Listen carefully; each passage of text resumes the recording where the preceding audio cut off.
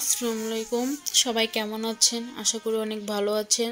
তো আমি আজকে আরেকটা নতুন রেসিপি নিয়ে আসলাম। চট্টগ্রাম ঐতিহ্যবাহী পায়েস। তো এখানে আমি এক পাশে দুধ গরম করতেছি আর এই পাশে পানি গরম দিয়েছি। এখানে দুটা তেজপাতা, দারচিনি আর হচ্ছে চারটা এলাচ দিয়ে দিলাম। তো পানিটা বেশ গরম হয়ে আসছে আর এদিকে দুধটাও গরম হচ্ছে। এই যে বিন্নি ধানের চালটা আমি ভিজিয়ে রেখেছিলাম পাঁচ মিনিট। তো ভিজানোর পর এখন আমি এখানে দিয়ে দেব গরম পানির মধ্যে। তো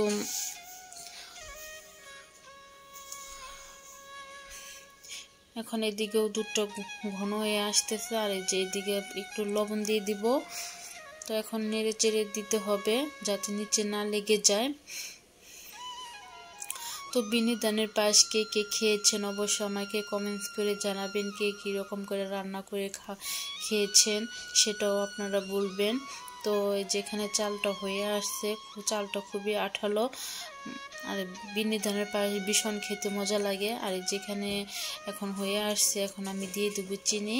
তো কেউ আমি চিনি মানে সামান্যই দিচ্ছি, কারণ মিষ্টি আমি কম খাই জন্য অল্প করে দিচ্ছি। যদি আপনারা একটু বেশি খেতে চান, বেশিও দিতে পারেন, তাতে সমস্যা নাই।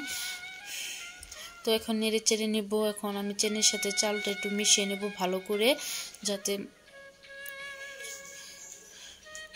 এই যে এদিকে হচ্ছে দুধটা হয়ে আসছে এখন। তো এখানে আমি এখন পরিবেশন করব। তো এখানে একটা বাটি নিচ্ছে, বাটিতে আমি বেড়ে নিচ্ছি। আর হচ্ছে এখান থেকে আমি দুধটা নিয়ে নেব।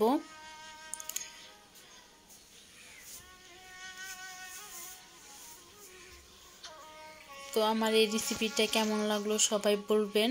কমেন্টস বক্সে আমাকে জানাবেন।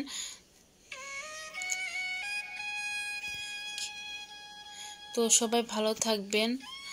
আল্লাহ হাফেজ।